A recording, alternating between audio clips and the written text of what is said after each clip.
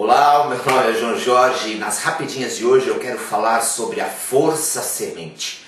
O que é a força semente?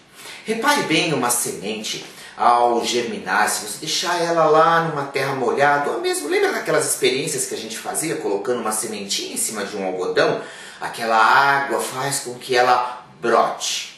Percebe que esse broto ele vai crescendo e vai despontando folhas e vai crescendo e despontando folhas e vai crescendo e despontando folhas até que este caule já está bastante firme e rígido e estas folhas estão crescendo e se tornando futuramente uma árvore.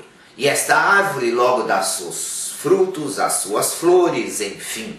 É assim que começa uma semente lá no seu interior. Pois bem, essa semente, se nós quiséssemos acelerar o processo de nascimento, o processo de brotar, de crescer, para que a fruta, enfim, possa ser colhida, o que nós vamos fazer? Provavelmente nós vamos danificar todo o projeto e vamos matar a semente se nós acelerarmos este processo.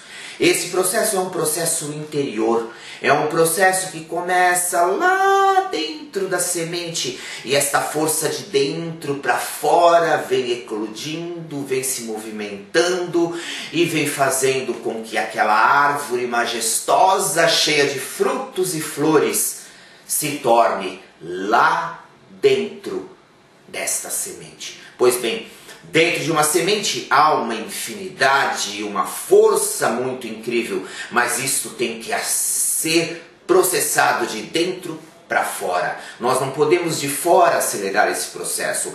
Assim como um bicho da seda, aquela borboleta que sai de dentro do casulo, também é uma força que começa internamente. E dessa maneira, nessa rapidinha de hoje, nós queremos somente colocar um paralelo, a força que faz com que você se torne um humano esplendoroso, um humano próspero, um humano saudável, um humano feliz. Essa força, ela nasce lá dentro e é de dentro para fora que toda essa realização se acontece dentro do ser humano, nunca de fora para dentro. Nós queremos aí arrumar tudo em volta, deixar a casa pronta, deixar todos os ambientes propícios, deixar tudo daquele jeitinho perfeito para que aí sim consigamos ser felizes, consigamos ser prósperos e consigamos ter uma vida de prazer e de realizações. Pois bem, isto só pode acontecer assim como na semente, assim como no casulo da borboleta. É de dentro para fora. Por isso fica aí a nossa dica de hoje nas rapidinhas. É dentro de ti aonde começa o mundo, onde começam as realizações e a felicidade. É de dentro para fora essa força. Essa força semente está em você. Você é uma semente de prosperidade e felicidade. É só regar, é só cuidar que a coisa vai funcionar. Tá ok? Essa foi a nossa Rapidinhas de hoje. Eu vou ficando por aqui. Até a próxima Rapidinhas. Fui!